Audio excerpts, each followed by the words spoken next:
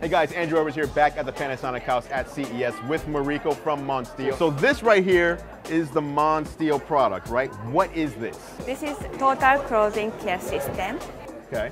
inside the MonStyle. Okay, so you put it in there. Yes. Okay, so we got different shampoos and Effector. effectors. And the effectors allow you, okay, so that's moisture keeping. So they allow you to add different qualities to your clothing. Yes. So the shampoo's going in there. Okay. You can choose wash course or refresh course.